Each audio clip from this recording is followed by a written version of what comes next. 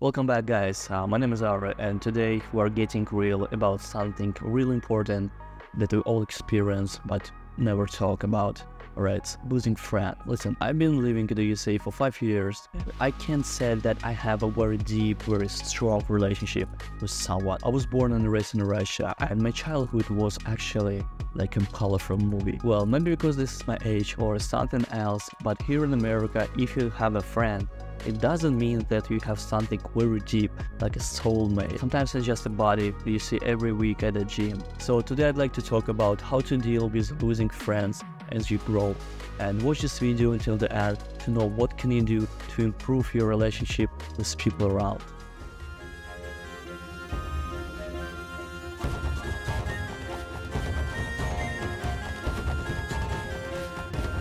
First off, you need to be okay that people change sometimes. You know, priorities shift and friendship fade.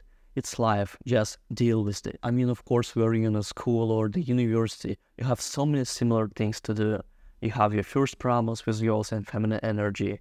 You have a body that you spend the whole weekend playing video games with, or your boss hates your stupid teacher, for example. But after some time, you understand that you don't want to be the same person like you've been so many years.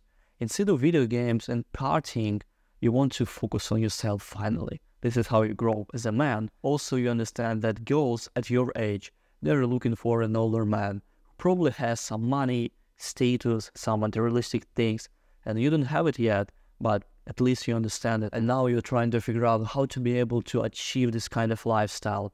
But your friend, for example, wants to keep playing video games or drinking every Saturday. So it's time to choose what you really want. This is why you need to be okay with losing people sometimes because you guys have just different vision of this life. And it means acknowledging that you can't control everything around, especially other people's opinion. If your friend doesn't want to change in a better way, so it's up to him. You didn't sign a document to be with one specific person the whole life, especially if you want to be successful but this person doesn't. Now let's talk about you. Once you figured out that sometimes it's better to walk alone instead of having toxic and bad relationship with people who don't care about your life. So this is where you need to focus on yourself. Invest in your own happiness, your own passions, and your life will be better. Because at the end of the day, sometimes you feel like, okay, nobody cares about what I do, what I think, my problem, nobody cares about it. But after sometimes you realize that there are so many people who have very similar values as you. And listen, man, I'm all from one country to another. So I've lost all of my friends because most of them have this old kind of mindset about, you know, Russia and America that I changed more than five years ago.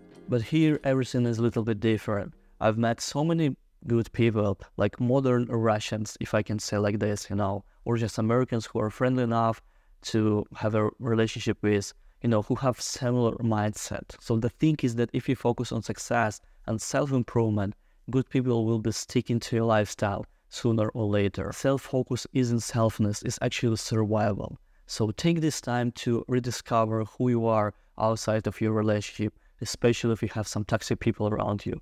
And remember that the future is bright, whatever it takes. All right, the last one, you need to stay open to new connections. And yes, sometimes you feel like your heart just broken because of your friend or your girlfriend in the past, but it doesn't mean that you should shut yourself off from the world. New beginnings is always something interesting. I see it as a game, but if you're playing your character, making new relationship and networking with good people, one day you will achieve this kind of lifestyle that you're going to. Alright, now you got it, man. And again, sometimes it's alright to lose some people in your life because you have you know, another mission. This person doesn't have anything like this, so you need to disconnect from him and go to achieve your goal. If you enjoyed watching this video, put it thumbs up, subscribe to this YouTube channel and to my Instagram where I can put more stuff like this and I'll see you guys in the next one. Всем пока.